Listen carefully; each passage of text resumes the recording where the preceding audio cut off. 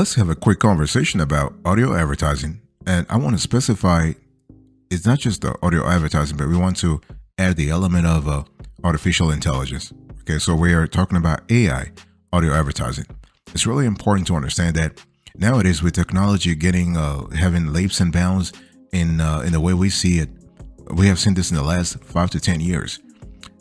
You you see a lot of shifts in the industry. You see a lot of shift in the consuming patterns. So not only from consumers, but also in terms of how marketers address the market. So audio, by far and large, is the fastest growing form of advertising today. But many channels use text-only ads, which makes it very difficult to grab the audience's attention. With music, podcasts, and video streaming at all-time high, using AI technology to create audio ads at scale is, is a great opportunity for businesses worldwide. It doesn't matter whether you are in Rhode Island, New York, or somewhere in China or Angola, you can use AI audio advertising. So why should you really invest in audio advertising at all? Let's talk about that. Well, the whole thing here is that a lot of folks are believing, and they are they are making a big mistake. They believe that nobody listens to radio anymore. This could be true, but the thing is that people don't listen to radio, but the audiences have shifted from audio to uh, from radio rather to other platforms like Spotify, like Pandora, Okay, so you have a, a constellation of platforms that are just getting the uh, the audience back. So audio ads are perceived to be more relevant, more attention grabbing, and more entertaining than traditional radio ads. While radio is more mainstream and generic, digital audio ads are more oriented to specific groups of listeners and they can be personalized, making them a more uh, efficient investment for companies. What I'm trying to say here is that when we talk about audio advertising in general, we are focusing on geography and demographics. Geography and demographics. I want you to remember this uh, this uh, duality. By the way, boss, welcome back to the show. It's really a pleasure to have you here. And as we explore the, the wonderful world of audio advertising, the wonderful of uh, artificial intelligence, I want to help you make more money. I want to help you boost your exposure. I want to help you actually uh, boost the exposure of your company, of your webinar, of your podcast, of your, of your uh, whatever you are, whatever line of uh, work that you are currently having, whether you are an online course creator, a webinar presenter, a coach, or just a regular business owner who wants to boost the visibility of his or her business. I want you to really listen because the audio market is actually huge right now. Like in the States, for example, you have approximately 200 people, 200 million, million million people who are consuming audio on a weekly basis. Fantastic.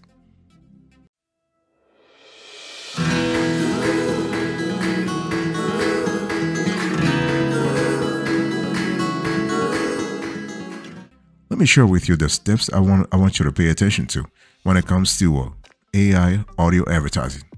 First of all, you are able to uh, engage more. So engagement and brand awareness. So if you are able to invest in audio marketing, especially artificial intelligence audio marketing, you are able to engage more with your audience. The point I'm trying to make here is that when we speak about audio marketing in general, going back to what I said about demographics and ge- geography, you want to make sure that you personalize the content. You want to make sure that you provide bespoke content. So for most audio ads, the primary objectives are twofold increase brand awareness and or increase engagement. And Adobe research showed that 52% of consumers felt more engaged by audio ads. 57% felt they were more relevant to their needs and interests. And almost half of audio streamers said that uh, radio ads, I mean, not radio, audio ads are less disruptive than other forms of advertising. So when you really think about it, there is an element of, uh, of uh, I would say familiarity there. There's an element of positivity there. So if you're listening to me right now, boss, and you are still on the fences when it comes to audio advertising, you you might be missing a big opportunity. But just make sure that whatever content you have, whatever platform you have, just make sure that you have a CTA. You got to have a CTA. You got to have a call to action because it doesn't matter where the listener is in your sales funnel, whether they are just getting like they are just the getting uh, awareness about your brain or they are like a, a quasi customer you have to be you have to make sure that you are talking to the right the right demographics at the right location but have a T, have a cta It could be click, go to this website, book a call with me, check out this uh, free, check out this free ebook, whatever your lead magnet is. You have to link all those elements in your ad.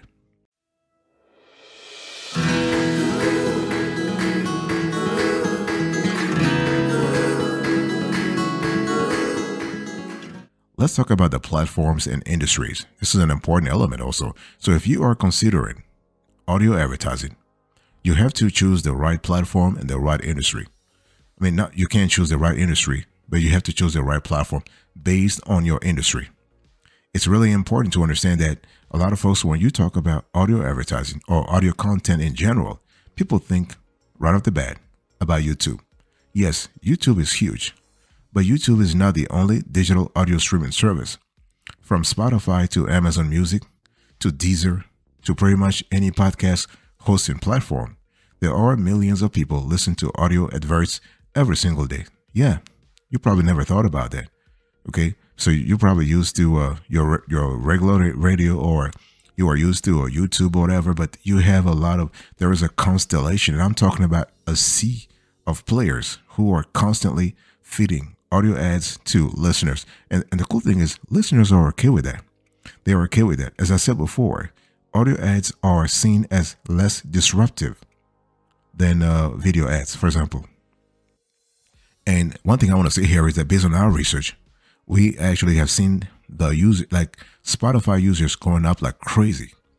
Spotify alone has a 209 million active free users, which equals to 209 million audio ad listeners too.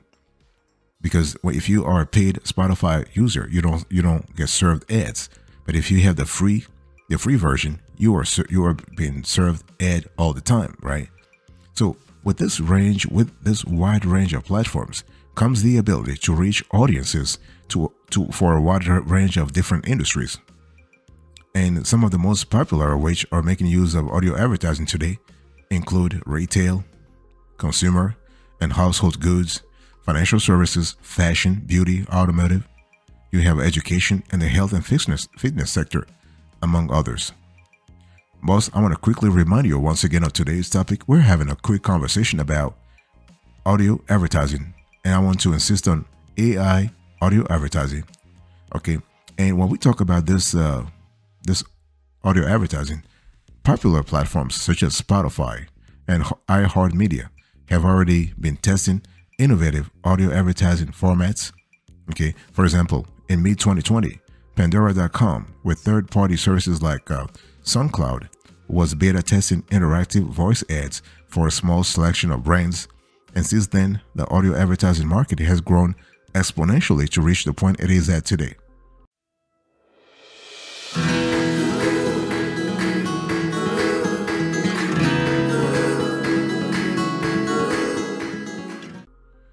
Quickly talk to you about the benefits of uh, AI audio for audio ads. Now, it's really important to understand that AI is really is pretty new and is, is getting uh, is really uh, growing by leaps and bounds. And I'm not talking about Chat G, G, GPT or whatever. Okay, I'm speaking about AI, strictly AI audio ads. And what makes AI uh, audio ads more efficient and uh, effective for your advertising needs and business overall is that you have uh, the, the plurality plurality of options. Okay, first of all, th there is the factor of timeliness. Imagine you have a limited time offer, okay, where you need to promote a specific product or service that's only available for the next 72 hours. It will be almost impossible to hire a recording studio, voice actor, and sound engineer to produce the audio ad, listen to it, and modify it if required to, improve the promotion, for example. So using an AI solution to produce audio ads can be 100 times or even 1000 times faster than usual. Second, you got to think about the reduced cost. Because when we talk about producing audio ads with, uh, let's say, uh, API audio technology, you are able to reduce the cost by somewhere between 50 to 75% based on our calculations. Okay, because artificial intelligence makes it possible to do things a lot, a, a lot faster. So starting with a simple ad script, then choosing an AI voice and sound design, and last but not the least, adding a professional quality, fully mixed master touch to the final audio. This can be done within uh, hmm, within uh, three hours. Okay, this is the power of software. And but again, the, the goal here is that you're going to, you probably are listening to me. You have no idea. You probably have no tool about that. You have no tool that can help you produce AI audio advertising. You, you do have a constellation of services out there. If you are listening to me right now and you are wondering where to find this kind of service, just drop us a comment. Just drop us a question in the comment section and we'll certainly get back to you. We have a lot of uh, a lot of clients, a lot of business clients who are using AI for their audio advertising needs right now, and it's just working fantastically.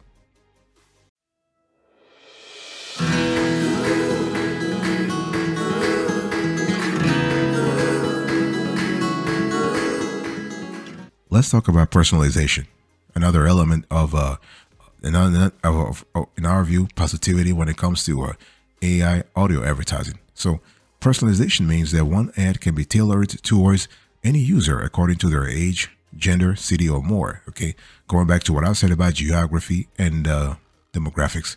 For example, a German or Spanish user living in London might listen to the same ad in German and Spanish respectively, instead of the general version in English for London. Okay, so this is kind of cool because uh, see the thing is if you if you are a marketer, you you will love this personalization because you are you are able to maximize your marketing spend efficiency. You can meet or exceed revenue targets, and you can earn a high return on investment. So personalization is really changing the game big time, and you should you should actually embark on that on that uh, bandwagon too. Boss, I want to quickly again uh, remind you of today's topic. We are having a conversation about artificial intelligence audio advertising and the general concept of audio advertising. And uh, I'm speaking to you about a few things you need to know about where the industry is going, why you should jump on board, why you should actually maybe test it and see if it works for you. So there are seven elements that we have seen that are really uh, changing the, like they're really uh, shifting the, the industry right now. They're creating a huge paradigm shifts. So n- number one, I spoke to you about engagement and brand awareness. Number two, I spoke to you about platforms and industries. And number three, benefits of AI uh, audio and for audio ads. Number four, I just spoke to you about personalization. I want to quickly talk to you now about scalability. So, when we talk about scalability, we are speaking about automation and growth. The whole thing here is that automation for audio ads on a global scale is quite difficult these days. But if you have an AI software tool, you are able to uh, to have personalization, localization, and dynamic audio. In short, this means that one simple script can be converted into thousands of different versions, each of them using different names, dates, or products, or any other specific personalization parameters required. So think about the gain that you have there, boss. The gain is just phenomenal. Okay, just phenomenal because you are able to uh, unlock a method of audio ad creation in a way that would never be possible with traditional audio production. Remember, when we talk about traditional audio production, we have a, a, series of steps we need to follow. And those steps are actually, uh, you know, you do have professionals to reach out to. You have a whole bureaucracy or a whole, I think, whole work streams to think and to take into account. But with AI, you don't have that.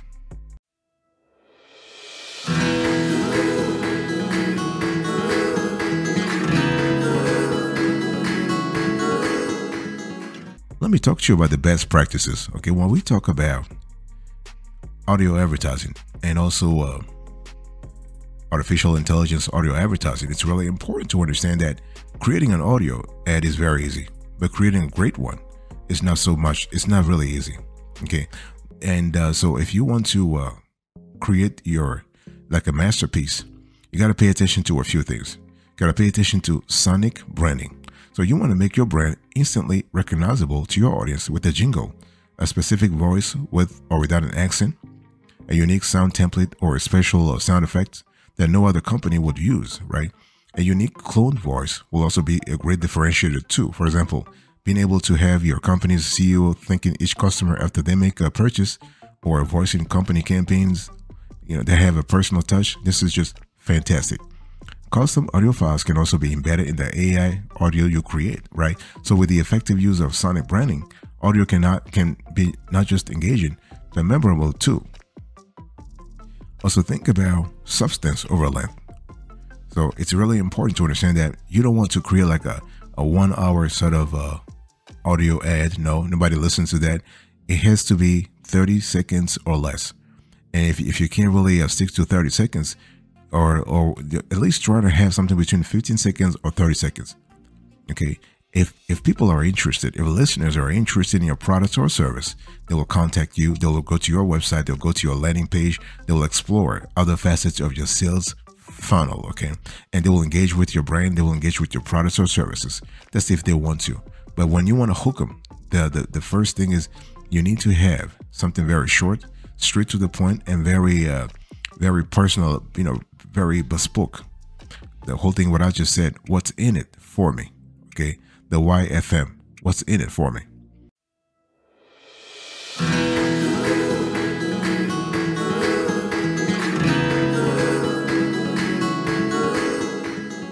And I want to close to this conversation with some metrics that you need to uh, use to measure performance because the whole thing here is that if you if you invest in uh, audio uh, in AI audio pro- audio advertising or AI audio marketing, but you have no way to track the results, this could be problematic. So you want to you want to be in a situation where you are constantly uh, you are constantly checking things to make sure you have the proper the proper resources and the proper metrics. When we talk about metrics, you have things like impressions, you have completion rate, you have clicks and CTR, and you have the cost per reach. And let me quickly, uh, I want to go granular on some of those things. So impressions refer to the amount of times your audio your audio ad has been shown to your targeted audience. It will vary to the target audience, okay, budget, other advertisers, and time frame of analysis. So, for example, an audio ad in a city with 1 million people versus one with uh, 10 million would not be the same. Spending a budget of uh, $500 uh, versus $10,000 or measuring daily results versus daily versus weekly results. So all of those factors will affect the total number of impressions in your campaign. So you need to think about the completion rate. Okay, completion rate is important. In other words, are people skipping your ads or people are just listening to your ads from the from the beginning till the end? If you have a high completion rate, it just means people are finding your ad engaging right? They love the content, they love the visuals, they love the message. So this could be great for you. What about clicks and uh, CTR? Now, CTR stands for click through rate. And this is the, the amount of clicks on your ad over the total amount of impressions. A good average benchmark is between 1 to 3%. It will depend on the creativity, the audio, the voice, the script, how relevant is the message for the user, and the moment it is captive is actually uh, displayed. Okay, However, the better quality your audio overall, the more likely it is to help raise your CTR. Also, I want you to think about your cost per reach, okay? Your your CPR. So cost per reach is the comparison between the amount of money spent during a specific period of time in relation to the amount of people impacted by the audio ad, also known as the reach. Therefore, the more people that are engaged by and take action after listening to your ad, the lower your cost per reach will be. So this is why, going back to what I said, you want to uh, focus on geography and uh, demographics because if you serve the, the proper ad to the proper audience, there is a high probability that they will they will actually click on the ad and they will follow through. If you really are able to find that specific niche, you're able to find that uh, granularity in terms of demographics and uh, geogra- geography, then you really will increase, you will not increase, you will reduce your cost per reach a lot.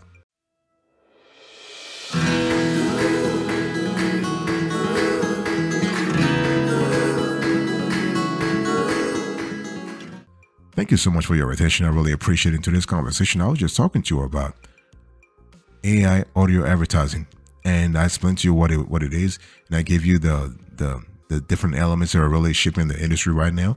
I hope uh, this video added value to uh, to your business, and I'll see you next time. But until then, remember, stay marvelous.